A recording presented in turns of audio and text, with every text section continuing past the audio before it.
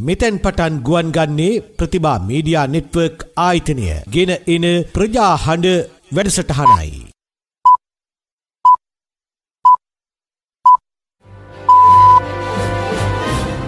ග්‍රාමීය මට්ටමින් මේ සංවිධාන පීඨෝගෙන මේවා වැඩ කටයුතු කරමින් ගියාට මේ වැඩසටහන් පිළිබඳව සාකච්ඡා කරන්න වේදිකාවක් අපට ලබා දුන්නේ නැහැ මෙතෙක්. කරන කාර්යයන් සමාජය තුළ කරන කාර්යයන් ඊට වඩා sannivedanayට යොමු විය යුතුයි.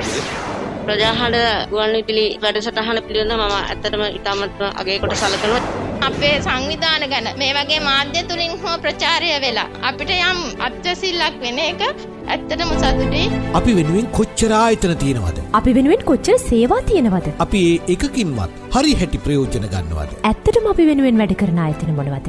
අපි ඒ ආයතන හඳුනා ගනිමු. ප්‍රජා සංවර්ධනය උදෙසා කැපවන ප්‍රජා ආයතනවල කාර්යභාරය පිළිබඳව විමසා බැලින ප්‍රජාහඬ ප්‍රජාහඬ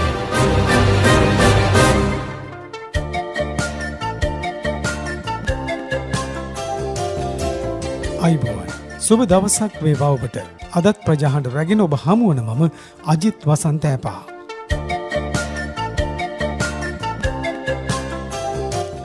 දකුණ සහ උපලාතේ ප්‍රජා සංවර්ධනය සඳහා කැපවන ආයතනවල කාර්යභාරය පිළිබඳව දැනුවත් කරන වැඩසටහන් මාලාවක් විදියටයි ප්‍රජාහන්ඩ වැඩසටහන් මාලාව ඔබ වෙත ගෙනෙන්නට කටයුතු කරනු ලැබුවේ.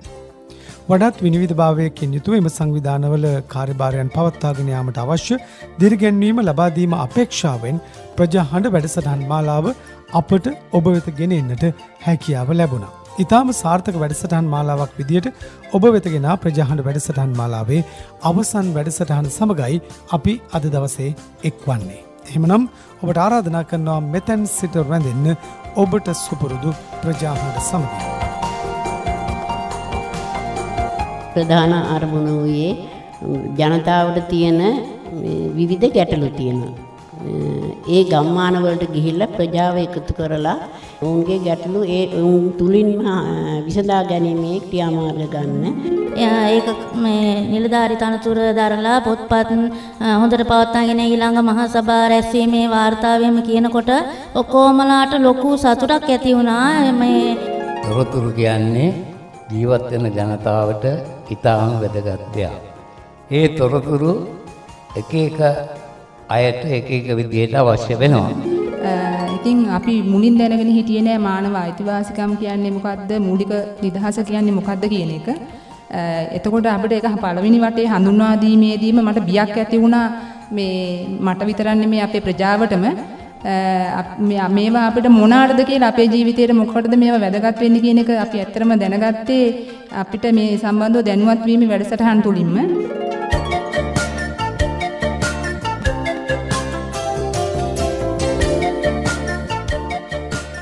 අද ප්‍රජාහඬ වැඩසටහනට අපි ආරාධනා කළේ මොනරාගල දිස්ත්‍රික්කයේ වෙල්ලස්ස කාන්තා පදනමට.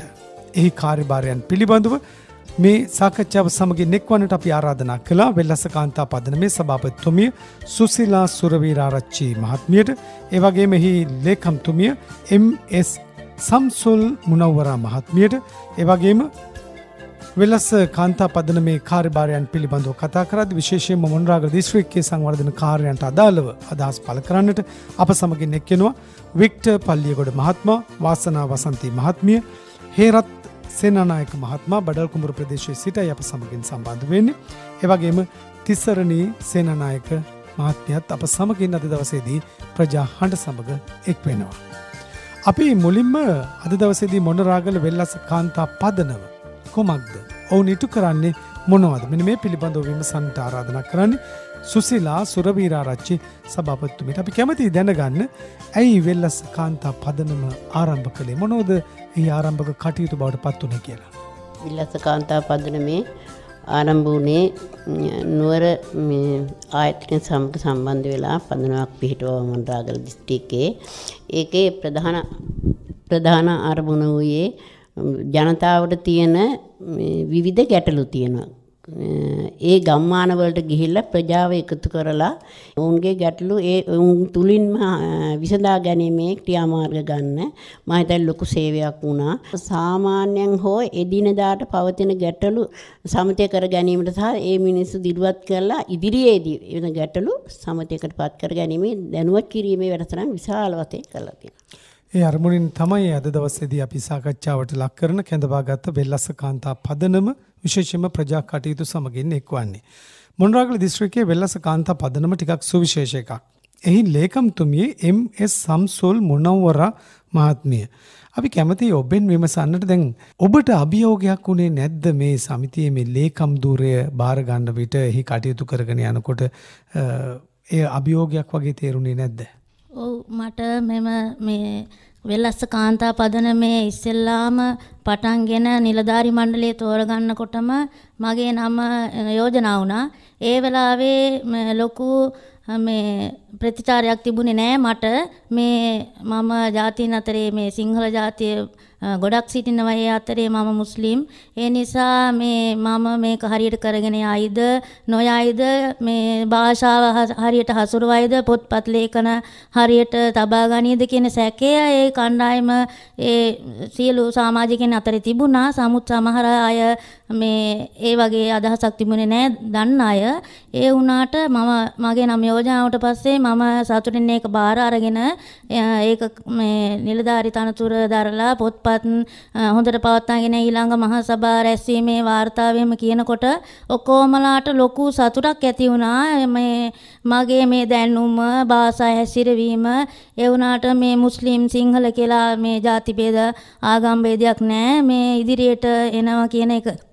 එයාලා හිතේ අරගෙන ඊට පස්සේ මාත් එක්ක සුවදව මේ කටයුතු කරගෙන මෙම වෙල්ලස්ස කාන්තා පදනමේ ඉදිරි වැටකටු කටයුතු කරගෙන යන්න ලොකු උදව්වක් අනිත් අයගේ සහයෝගයක් ලැබුණා.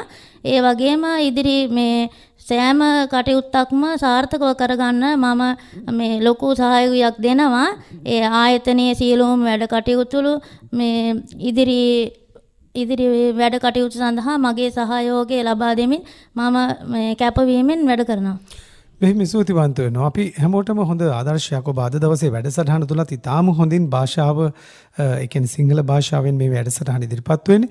ඒ තුල තමන්ගේ අදහස ඉතා පැහැදිලිව කියනවා. ඒ කියන්නේ අපි ගොඩක් සතුටු වෙනවා. අපි වික්ටර් පල්ලියගොඩ මහත්මයා එක් කරගන්නවා. විශේෂයෙන්ම මේ ඔබ අපේ රටේ ජ්‍යෙෂ්ඨ පුරවැසියෙක්. ඉතින් අපි කැමති ඔබෙන් විමසන්නට දැන් මේ රටක පුරවැසියන්ට අවශ්‍ය තොරතුරු දැන ගැනීම. තමන්ගේ වටපිටාවේ තමන්ගේ ප්‍රශ්න ගැටලු විසඳගන්න කොච්චර වැදගත් වෙනවද.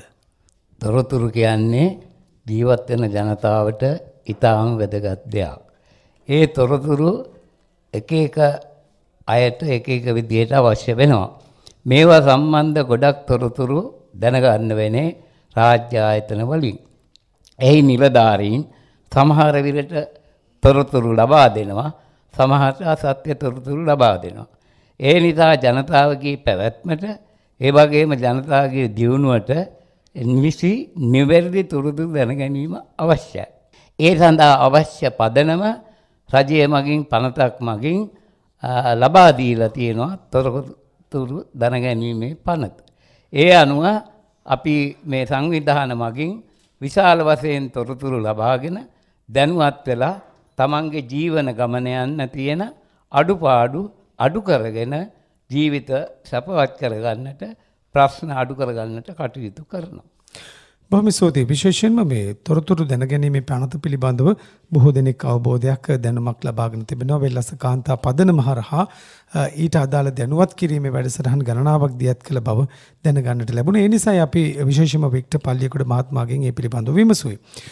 වාසන වසන්ති. අප සමගින් එක් වෙනවා වෙල්ලස කාන්තා පදනම. පිළිබඳ විශේෂයෙන් මෙහි ප්‍රතිලාභී කණ්ඩායම නියෝජනය කරමින් අපි කැමති දැනගන්න දැන් මේ ඔබෙන් විමසන්නට දැන් ඔබට මොනවද මේ වෙල්ලස කාන්තා පදනම හරහා ලැබුණේ කියලා මුලින්ම? අද මම මේ අවස්ථාවට හරි සහභාගී වුණේ අපේ වෙල්ලස්ස කාන්තා පදනම නිසා.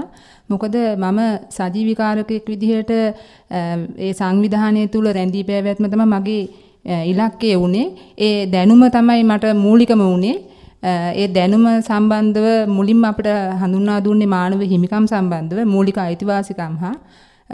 ඉතින් අපි මුලින් දැනගෙන හිටියේ නෑ මානව අයිතිවාසිකම් කියන්නේ මොකක්ද මූලික නිදහස කියන්නේ මොකක්ද කියන එක. එතකොට අපිට ඒක පළවෙනි වටේ හඳුන්වා දීමේදීම මට බියක් ඇති වුණා. මේ මට විතරක් නෙමෙයි අපේ ප්‍රජාවටම. මේවා අපිට මොනාටද කියලා අපේ ජීවිතේට මොකටද මේවා වැදගත් වෙන්නේ කියන එක අපි ඇත්තටම දැනගත්තේ අපිට මේ සම්බන්ධව දැනුවත් වීමේ වැඩසටහන් තුලින්ම. මේ එතකොට දැන් අපි දන්නවා අපේ අයිතිය මොකද්ද? අපි අයිතිවාසිකමක් වෙනුවෙන් කොහොමද හඬ නගන්නේ කියන එක අපිට දැන් වටහලා දීලා තියෙනවා. අපි දැන් ඒකෙන් ප්‍රයෝජනය අරගෙන දැන් අපි ග්‍රාමීය කාන්තාව විදිහට ලොකු තැනකට ඇවිල්ලා තියෙනවා බලපෑම් කරණය මගින්. දැන් අපි ඒ වගේම වසමේ වතුර නැතුව ඉඳලා වතුර වෙනුවෙන් අපි ලොකු හඬක් නගලා මේ වෙනකොට අපි මේ සාර්ථක විදිහට වතුරත් අරගෙන තියෙනවා. ඔය ඉතම වැදගත් අදහසක් ඔබ පළ කරේ සමාජයක් විදියට පොදුවේ තමන්ගේ දිස්ත්‍රික්කයේ තුල ජනතාව ලැබූ වරප්‍රසාද පිළිබඳව පොදු කාරණාවක් වාසන වසන්ති මහත්මිය සිහිපත් කළේ. හේරත් සේනානායක මහත්මයා අපි ඒ කරගන්නවා. දැන් විශේෂම මේ වෙල්ලස කාන්තා පදනම එහි ඉදිරි අනාගත වැඩ සැලසුම් කරද්දී දේශපාලනය පිළිබඳව. එතෙන්දි විශේෂම මේ කාන්තා දේශපාලනය ශක්තිමත් කළ යුතුයි කියන අදහසක් දැරුවා. ඇයි ඔබ කාන්තා දේශපාලනය ශක්තිමත් කළ යුතුයි කියන අදහස දරන්නේ?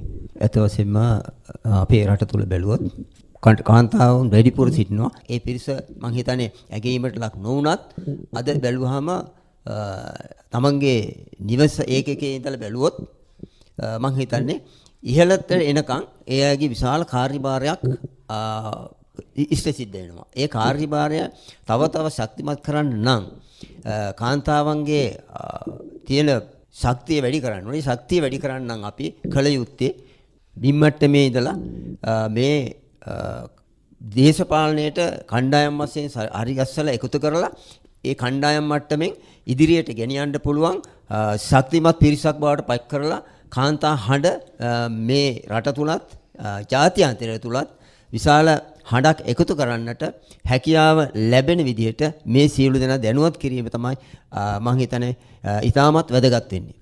හොඳයි බොහොම ස්තුතියි අපි සමගින් අදහස් පළ කළේ හේරත් සේනානායක මහත්මයා. දැන් හේරත් සේනානායක මහත්මයා සිහිපත් කළ විදිහට මේ තවත් ඊට සමාන එහෙම නැත්නම් සමීප කාරණාවක් පිළිබඳව විමසන්න බලාපොරොත්තු වෙන තිසරණී සේනානායක මාත්මියකින් ඔබෙන් ආහන්නටත් කැමති. දැන් ඔබ මොනවද යෝජනා කරන්න? වෙලස කාන්තා පදනම විදියට විශේෂම අපේ දිස්ත්‍රික්කයේ තුළ හරි අපේ රටේ හරි දරුවන් සහ කාන්තාවන් වෙනුවෙන් ඉටු කළ යුතු කාරණාතරේ මොනවද ප්‍රමුඛ වෙන්නට ඕනේ? එහෙම නැත්නම් මොනවද අපේ දිස්ත්‍රික්කයේ ඉන්න කාන්තාවන් සහ දරුවන් වෙනුවෙන් විශේෂයෙන්ම කරන්නට ඕනේ කියලා ඔබේ යෝජනාව අදහස මොකක්ද? ඔව් ඒ කාරණාවේදී මම කියන්න කැමති මොකද අපේ දිස්ත්‍රික්කයේ ගොඩක් ගෘහස්ත හිංසනයට ලක්වෙන කාන්තාව සහ අත්තවරයට ලක්වෙන දරුවෝ ප්‍රතිශතය වැඩි. ඒක නිසා අපේ අපි ආයතනයක් විදිහට ලොකු බලාපොරොත්තුවක් තියෙනවා රැකවරණ මධ්‍යස්ථානයක් ආරම්භ කරන්න. මොකද රාජ්‍ය නිලධාරීන්ට පවා ඔවුන්ට එන දැන් අපි උදාහරණයක් විදිහට ගත්තොත් ලාමා ආරක්ෂක නිලධාරි, ඒ වගේම වනිතා සංවර්ධන නිලධාරි, ඒගොල්ලන්ටවත් ඔවුන්ට එන කාන්තාවෝ සහ දරුවෝ තබා තියන්නට මධ්‍යස්ථානයක් මේ දිස්ත්‍රික්කයේ නැහැ. ඉතින් එතකොට අපිට විවිධ ප්‍රදේශවල තියෙන මධ්‍යස්ථාන හොයාගෙන යන්නට සිද්ධ වෙනවා. එතකොට දැන් ගොඩක් දුරට දිස්ත්‍රික්කයේ ළමා කාන්තාවන් වෙනුවෙන් ළමා රැකවරණ මධ්‍යස්ථානයක් ආරම්භ කරලා ඒ සඳහා ලොකු පිටුහාලයක් කිරීමට තමයි අපේ බලාපොරොත්තු. හොඳයි බොහොම ස්තුතියි ඔබේ යෝජනාවට. අපි ගරු කරනවා. අද දවසේදී අපි ප්‍රජා හඬ වෙත කැඳවාගෙන සිටින්නේ මොනරාගල වෙල්ලස කාන්තා පදනම. එහි ක්‍රියාකාරීත්වය පිළිබඳව, එහි කටයුතු පිළිබඳව අපි අවධානය යොමු කරද්දී තවත් බොහෝ පිරිසක් අප සමගින් රැඳී සිටිනවා. අපි කැමති ඔවුන්ටත් අවස්ථාවක් ලබා දෙන්න. මුලින්ම මේ වෙල්ලස කාන්තා පදනම තුලින් කිසියම් විමසිය යුතු කාරණාවක් තිබෙනවා නම් ප්‍රශ්නයක් විදිහට ඔබට අහන්න පුළුවන්කම තිබෙනවා. මම එච්.එම්. ගුණවර්ධන කාන්තා නායකත්වයේ දියුණු කිරීම සඳහා ඔබ සංවිධානය කරන ක්‍රමය කුමක්ද? ප්‍රජාව දැන් කාන්තා ප්‍රජාව දැනුවත් කිරීම අංක 1 ඒ වගේම ඒගොල්ලන්ගේ ගැටලු විසඳ ගන්න ශක්තිය සහ දැනුම වර්ධනය කිරීම තුළින් පොදු ගැටලු සහ තමුන්ගේ ගැටලු විසඳා ගැනීමේ සංවර්ධන ක්‍රියාවලියට සහභාගී කරවීම තමයි බලාපොරොත්තු වෙන්නේ. හොඳයි ඒ වගේම තවත් කෙනෙකුට අපි අවස්ථාව ලබා දෙන්නට බලාපොරොත්තු වෙනවා. අද දවසේ මේ කතිකාව තුළ මේ ඉදිරිපත් වුණු කරුණු පිළිබඳව ඔබ ඔබ අවධානය යොමු කරමින් හිටියා. මෙලෙස කාන්තා පදනමේ කාර්යයන් පිළිබඳව ඔබේ අදහස පිළිබඳව දැනගන්නට කැමතියි. මුන්නාල දිස්ත්‍රික්කේ දකින්න ලැබෙන ඇහෙන ලබන කාන්තාවන් සවි බල ගැන්වීම වෙනුවෙන් වෙල්ලස්ස කාන්තා පදනමට මාගේ ගෞරවනීය ස්තුති පුද කරනවා. ඔවුන්ගේ ඉදිරි කටයුතු තවත් සාර්ථක වේවා කියා මා ප්‍රාර්ථනා කරනවා. අපිට ඔබතුමාගේ නම ප්‍රදේශයේ සිහිපත් මම නිශාන්ත කුමාර ඔක්කම්පිටියේ. හොඳයි අපි බෙහෙම ස්තුතිවන්ත වෙනවා නිශාන්ත කුමාර මහත්මයාටත් අපි අද දවසේදී ප්‍රජා හඬ තුල තව දුරටත් සාකච්ඡා කරන්නට කතා කරන්නට බලාපොරොත්තු වෙනවා මොනරාගල වෙල්ලස්ස කාන්තා පදනමේ කාර්යභාරයන් පිළිබඳව අපි කෙටි විරාමයක් ලබා ගන්නවා. ඔබ මේ සවන් දෙන්නේ දකුණ සහ ඌව පලාතේ ප්‍රජා සංවර්ධනය උදෙසා කැපවන ප්‍රජා ආයතනවල කාර්යභාරය පිළිබඳව දැනුවත් කෙරෙන ප්‍රජා හඬ වැඩසටහනටයි. මෙම වැඩසටහන සෑම සඳුදා දිනකම ශ්‍රී ලංකාවේ වේලාවෙන් රාත්‍රී හතට සහ නැවත විකාශය යුරෝපා වේලාවෙන් රාත්‍රී අටයි තිහට www.සියහඬ.කොම් වෙබ් අඩවිය ඔස්සේ සහ සියහඬ රේඩියෝ ඔස්සේ ඔබට සවන් දෙන්න පුළුවන්. අපි සවන්දීමු නිවැරදි අවබොහෝදයක් ලබාගන්න. ප්‍රජා ආයතනවල කාර්යභාරය පිළිබඳව දැනුවත් වී අන් අයත් දැනුවත් කරමු. ප්‍රජා සංවර්ධනය උදෙසා ප්‍රජා හඬ නංවමු. ප්‍රජා සංවර්ධනය උදෙසා කැපවන ප්‍රජා ආයතනවල කාර්යභාරය පිළිබඳව විමසා බැලින ප්‍රජාහඬ ප්‍රජාහඬ.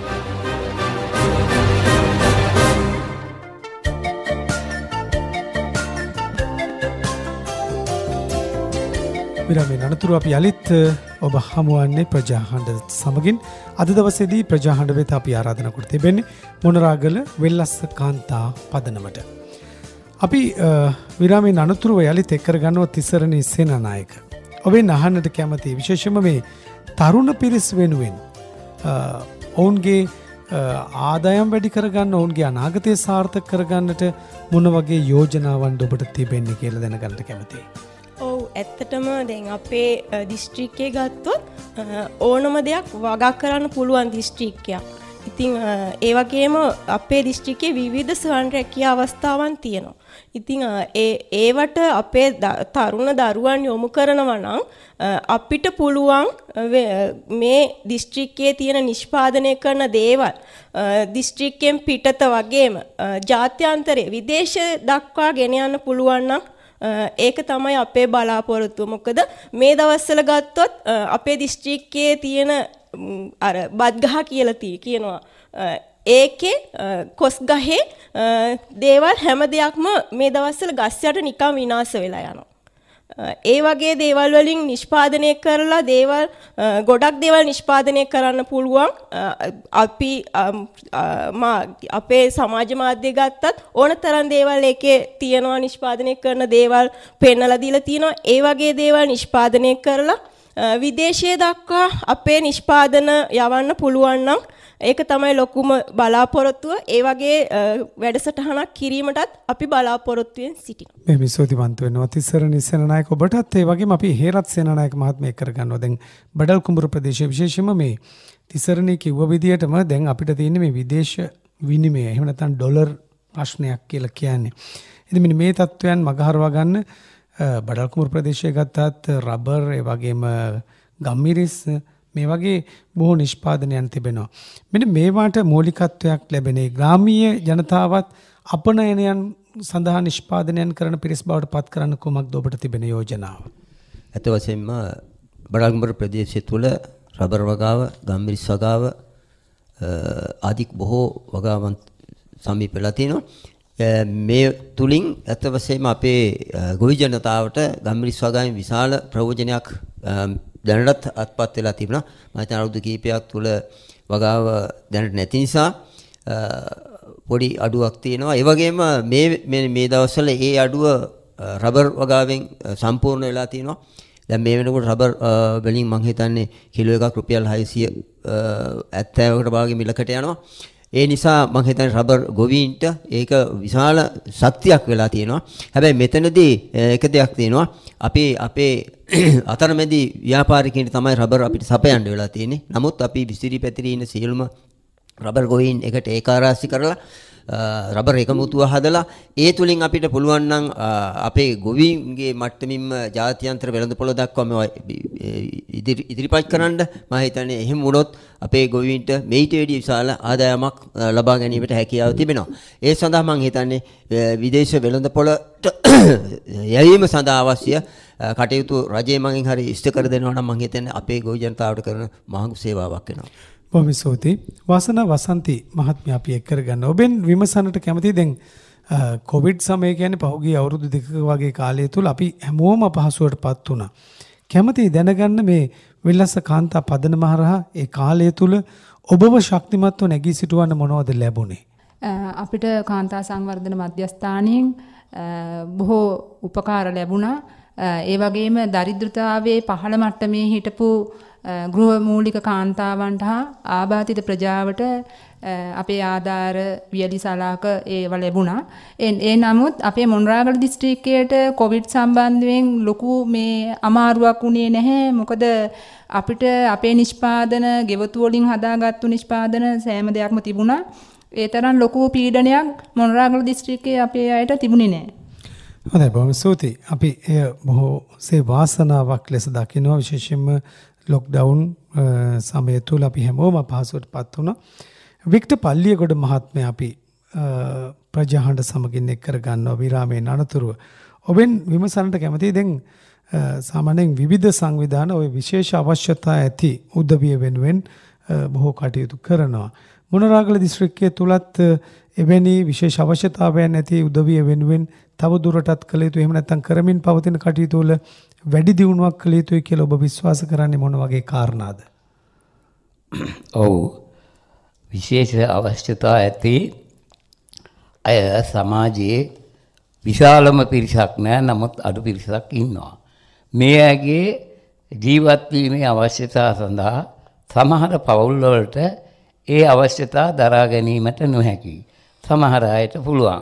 ඒ අනුව මෙම සංවිධාන හරහා යම්කිසි වැඩ කොටසක් කෙරෙනවා.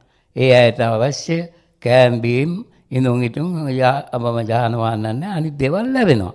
නමුත් ඒ අයගේ මානසික සුවය සඳහා කටයුතුත් ආගමික ස්ථානවලින් කරනවා. ඒ වගේම මෙම කාන්තා සංවිධානයෙන් එතකොට එල්ලත් පජා මධ්‍යස්ථානයෙන් ආදී ඒවැන් රෝධපුටු ඒ වගේ කල්ලන්ට අවශ්‍ය උපකරණ ඒ අඩුපාඩු සපුරාලෙනවා. ඒ අනුව කටයුතු කිරීමට හැකියාව තිබෙනවා. බොහොම ස්තුතියි වික්ටර් මහත්මයා. එම්.එස්. සම්සුල් මුණවර වෙල්ලස කාන්තා පදනමේ ලේකම්තුමිය. දැන් ඔබ ජීවත් වෙන ප්‍රදේශයේම සිංහල, දමිළ, මුස්ලිම් බොහෝ දෙනා එකට එක්ව ජීවත් වෙන ප්‍රදේශයක්. දැන් මේ ඔබේ ගම්මානය ගැන සැලකුවොත් මේ හැමෝම අතර තියෙන අවබෝධය කොහොමද? ඒ අපේ රටට වැදගත් වේවි. ඔව් මම ජීවත් වෙන්නේ බඩල් කුඹර ප්‍රාදේශීය ලේකම් කොට්ටාසේ මඩුගස්මුල්ල ග්‍රාම නිලධාරි වසමේ. අපේ වසමේ ඉන්නවා මුස්ලිම් පවුල් හතරයි. මේ අනිත් අය ඔක්කොම මේ ද්‍රවිඩ ජාතීන් පවුල් දෙකක් ඉන්නවා. අනිත් අය ඔක්කොම සිංහල ජාතියෙන්. එතකොට අපේ ගමේ මේ සාමූහික වැඩ කටයුතු වලට මේ අපිත් සහභාගී වෙනවා සමෘද්ධි රැස්වීම් වලට මරණාධාර සමිති වලට. ඒ වගේම ඔක්කොම මේ පාසලේ වැඩ කටයුතු අප මගේ ළමයිනුත් ඉගෙන ගන්නේ සිංහල පාසලයක මඩුගස් මුල්ල කනිෂ්ඨ විද්‍යාලයේ එක ළමයෙක් නිස්සංක ජාතික පාසලේ. මම ඉගෙන ගත්තෙත් මෝ නිස්සංක ජාතික පාසලේ බඩල් කුඹුර. ඒ වගේම අපේ ගමේ සියලුම වැඩ කටයුතු වලදී මගේ සහයෝගය වගේම අපේ අවමංගල්‍ය කටයුතු වල උත්සව කටයුතු වලදී යාළ සහභාගී වෙනවා. පුදුම සහජීවනයකින් අපි ජීවත් වෙන්නේ. ඒක මඩුගස්මුල ගමේ විතරක් නෙවෙයි. අපේ බඩල් කුමර කොට්ටාසේ මෙහෙමයි. කිසිම අපට අපහසුාවක් නැහැ. එක වගේ මේ එකට ජීවත් වෙන ජාතික වගේම ආගමික සංහිඳියාව සංහිඳියාවත් එක්ක තමයි අපි ජීවත් වෙන්නේ හරි සතුටින් ජීවත් වෙන්නේ සියලුම කටයුතු වලට අපි උදව් වෙනවා වගේම එයාලත් අපිට උදව් වෙනවා. බොහොම ස්තුතියි. අපි විශේෂයෙන්ම විමසුවෙත් ඒ ආදර්ශය අපේ රටටම ඊටම වැදගත් වේවි කියලා හිතලා. තිසරණ ඉස්සේනානායක. දැන් මේ තාක සුවිශාලු කාර්යභාරයක් ඉටු කරන ඔබේ සංවිධානය සමග කෙනෙක් සම්බන්ධ වෙන්නට ඔබේ සංවිධානයේ සහාය ලබා ගන්නට අවශ්‍ය නම් කොහොමද ඒ අය සම්බන්ධ වෙන්නේ? මොකක්ද ලිපිනය දුරකථන අංකයක් තිබෙනවද? අපි ඒ ගැන පොඩි සිහිපත් කිරීමක් කරමු. කෙනෙකුට ඔබේ සංවිධානය සමග සම්බන්ධ වෙන්න තිබෙන ක්‍රම මොනවද? අපේ පදනමට අපි දැනට තාම අපි පොඩි අපි මෙච්චර දේවල් කරාට අපි පොඩි සංවිධානයක් තාම. කියන්නේ ලොකු මහා දැවැන්ත වැඩ කරනවා. නමුත් අපි තාම කුඩා අවදියේ ඉන්න සංවිධානයක්. ඉතින් ඒක නිසා දැනට අපේ මගේ පුද්ගලික දුරකථනය තමයි සංවිධානය තුල පාවිච්චි වෙන්නේ සම්බන්ධීකාරක විදිහට මම මගේ දුරකථනාංකය ප්‍රකාශ කරන්නම් 076යි දෙසිය දාසයයි පනස්තුනයි හැට එක ඉතිං අපේ සංවිධානය වෙල්ලස කාන්තා පදනම හොරොම්බුව මොනරාගල කියන ලිපිනේ තමයි කාර්යාලය පවත්වාගෙන යන්නේ අපි මෙච්චර දැවන්ත සේවයක් කරාට අපට තාම කාර්යාලයක්වත් අපිටම කියලා නැහැ. නමුත් අපි කුලි පදනම මත තමයි තාම ඉන්නේ. ඒ වුණාට අපේ සේවය මුළු දිස්ත්‍රික්කයටම අපි ලබලා දෙනවා. මොන වගේ ආරාධනාවක්ද සභාපතිතුමිය සිදු කරන්නේ? සමස්ත රටේ කාන්තාවන්ට රටේ සංවර්ධනය වෙනුවෙන් දායක වෙන්න? රටේ සංවර්ධනය වෙනුවෙන් දායක වෙන්න. මොණරාගල දිස්ත්‍රික්කයේ නෙවෙයි සියලුම ලාංකික ජනතාව සහ සියලුම රටවැසියන්ට කාන්තාවන්ට මේ ආරාධනා කරන අපි වගේ සංවිධානය තුලින් ලබා ගන්න දැනුම සහ සම්බන්ධීකරණය තුලින් සියලුම දැන් මේ වර්තමානයේ සහ ඉදිරියට ඇතිවන ගැටලු විසඳා ගැනීමේ හැකියාව අපේ සංවිධාන ශක්තිය තුලින් ලබා ගන්න පුළුවන් කියලා ආරාධනා කරනවා සියලු දෙනාටම. මෙහිම සෝතිවන්ත වෙනවා. අපි සමගින් එක්ුණේ වෙලස කාන්තා පදනමේ සභාපතිතුමි සුසිලා සොරවීරාරච්චි මහත්මිය. අද දවසේ ඉතාම වැදගත්. සුවිශේෂ වූ කාර්යභාරයන් රැසක් ඉටු කරන මොනරාගල දිස්ත්‍රික්කයේ වෙල්ලස කාන්තා පදනම සමගයි ප්‍රජා හඬ ඔබ වෙත ගෙනෙන්නට කටයුතු කළේ අපි විශ්වාස කරනවා බොහෝ තොරතුරු එම පදනම පිළිබඳව ඔවුන් කරන කාර්යභාරයන් පිළිබඳවත් ඔබ දැනගන්නට ඇති කියලා.